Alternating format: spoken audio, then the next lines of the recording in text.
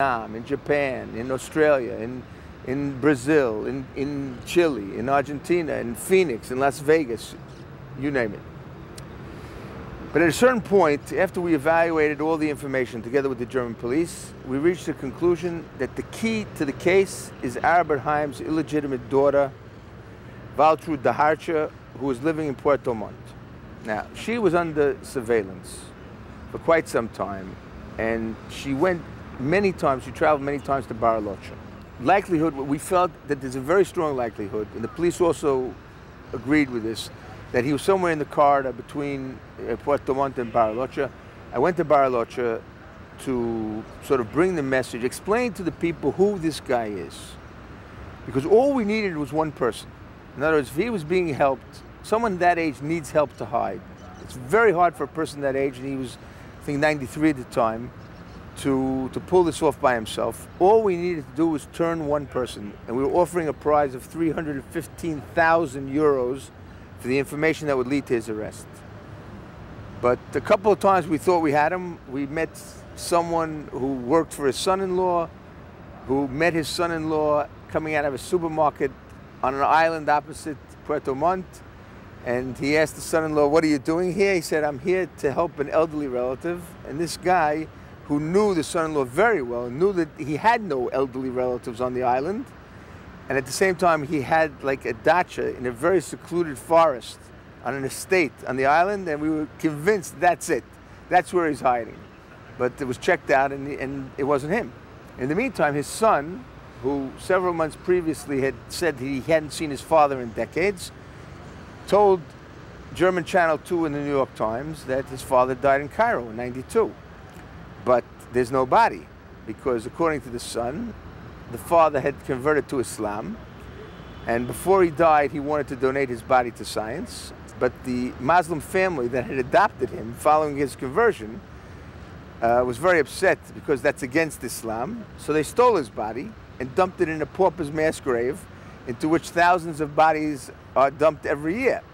Now that was 17 years ago in 1992, so go find his body now. No body, no proof. What about Alois Brunner?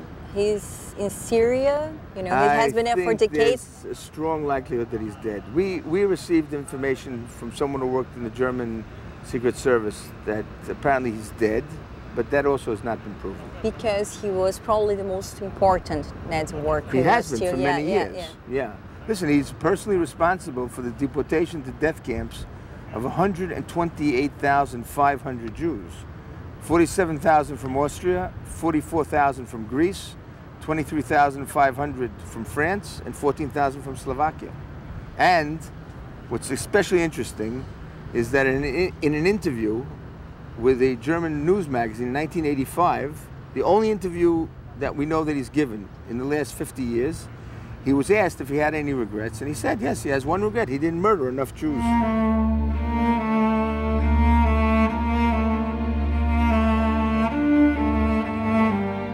What about Sandor Kepiro? He tops the most wanted Nazi war criminals list.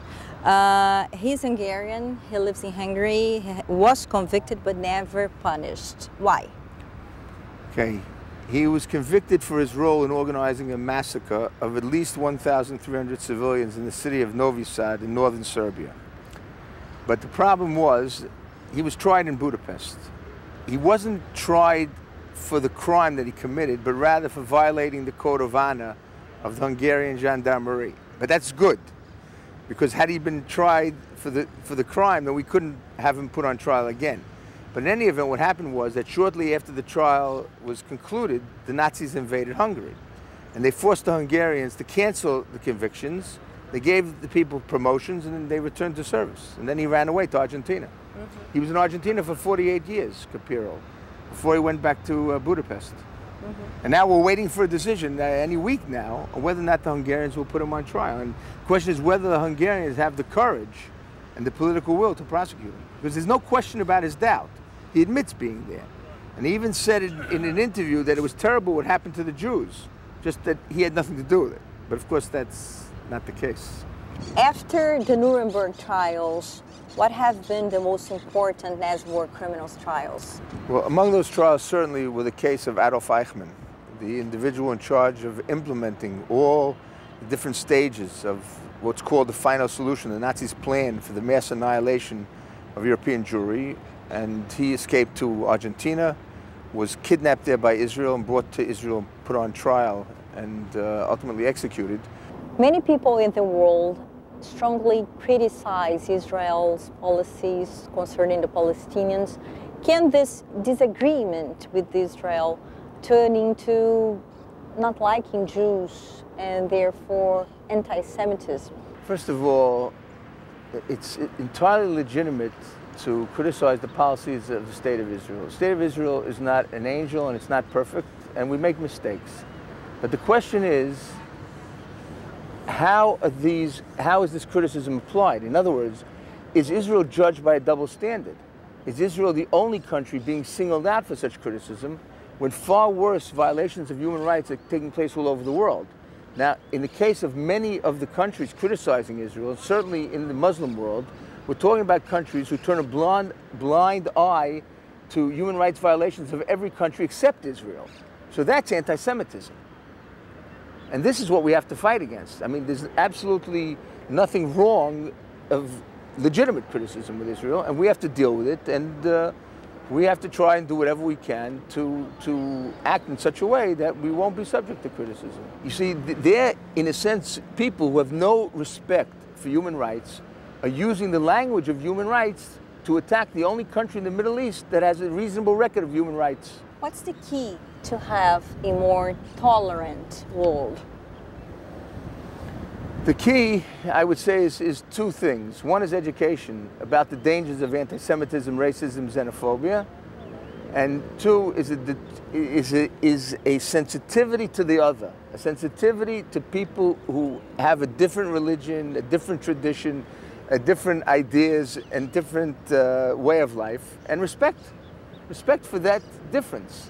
In other words, there's no reason to, to be prejudiced against people simply because they have a different religion or different language or a different tradition and the like. And the sooner the people learn to overcome those differences, in other words, to turn those differences into something positive rather than negative, there's no question that justice is the foundation that enables tolerance. And without justice, I think it would be very, very hard for a tolerant world to exist why bringing criminals to justice is so important. Right, because it basically says that society will not tolerate crimes of this nature. And it's really, it's all about the covenant between government and society. Because the covenant says that the government will do everything to protect people, spare them pain, spare them crimes, spare them violence. And if, God forbid, that violence does take place, those responsible will pay for it. But if that doesn't happen, I mean, the covenant or the, the agreement loses its credibility. And without that credibility and belief in the faith, faith in that agreement, society will, come, will be torn apart. Dr. Zuroff, thank you very much for this interview. Thank you.